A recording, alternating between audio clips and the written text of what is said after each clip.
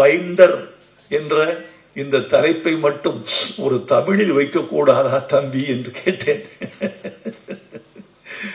அவர்கள் ரொம்ப நேர்மையாக பதில் சொன்னார்கள். அந்த நேர்மை தான் எனக்கு பிடிச்சிருக்கு ஒரு விஷயம் சொல்றேன் தமிழ் சமுதாயத்துக்கு. தயவு செய்து பொய் சொல்லாத தமிழ் சமுதாயம் வளர வேண்டும் என்று ஆசைப்படுகிறேன்.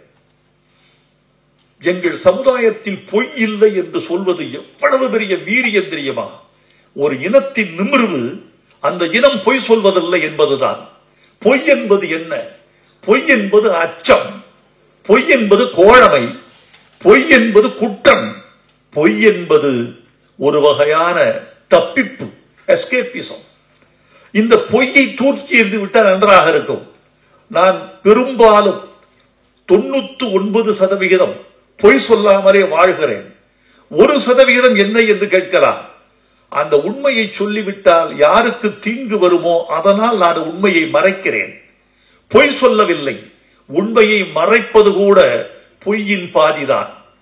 ஆனாலும் உண்மையை சொன்னால் நமக்கு தீங்கு வருகிறதோ இல்லையோ சம்பந்தப்பட்ட சமூகத்துக்கு தீங்கு வரும் என்றால் அந்த ஒரு விழுக்காடு மறைக்கலாம் என்று நினைக்கிறேன். வினோத் ராஜேந்திரன் என்னிடம் பொய் சொல்லவில்லை. அவர் சொன்னார் ஃபைண்டருக்கு நான் நல்ல தமிழ் கூட சொல்ல முடியும் தம்பி. ஃபைண்டர்ங்கிறதுக்கு திருவள்ளுவரே சொல்லியிருக்காரு ஃபைண்டர்னா என்னன்னு.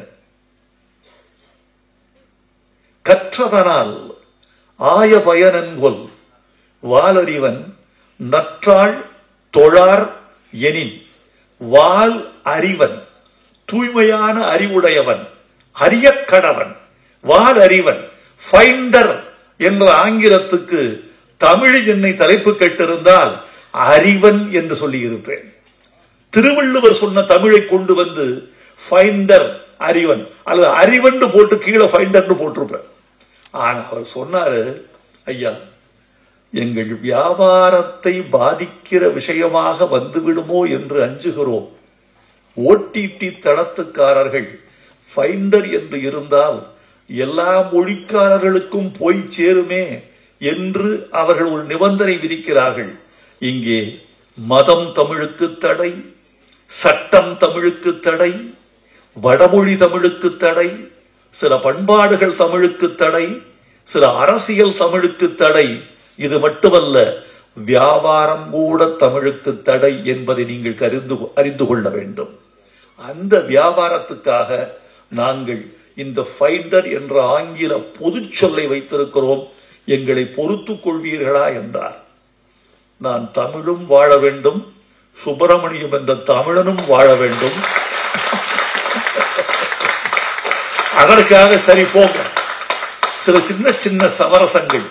சினிமாவே சமரசம் தானே. இருட்டை அணைத்து காட்டுகிற வெளிச்சம் தானே. அதனால் நான் அதை ஏற்றுக்கொண்டு விட்டேன். ஏற்றுக்கொண்டு விட்டேன் என்றால் ஒரு தமிழனை காப்பாற்றுவதற்காக ஏற்றுக்கொண்டு விட்டேன் என்று நீங்கள் புரிந்து கொள்ள வேண்டும்.